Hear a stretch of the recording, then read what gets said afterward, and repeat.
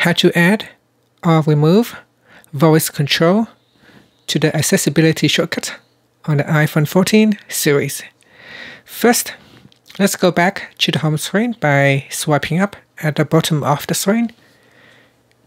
And on the home screen, tap on settings.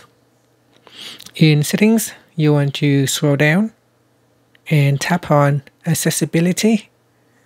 Then we scroll down and tap on accessibility shortcut.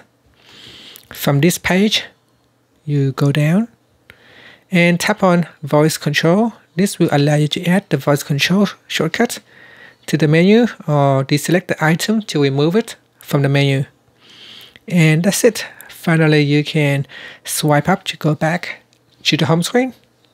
When you want to access the shortcut menu, just triple click on the side button. And from the accessibility shortcuts, you can tap on voice control to turn it on or off. Once it is turned on, you can see there is a blue microphone icon. And to switch it off, just go back into the shortcuts menu and deselect voice control. And that's it. Thank you for watching this video. Please subscribe to my channel for more videos.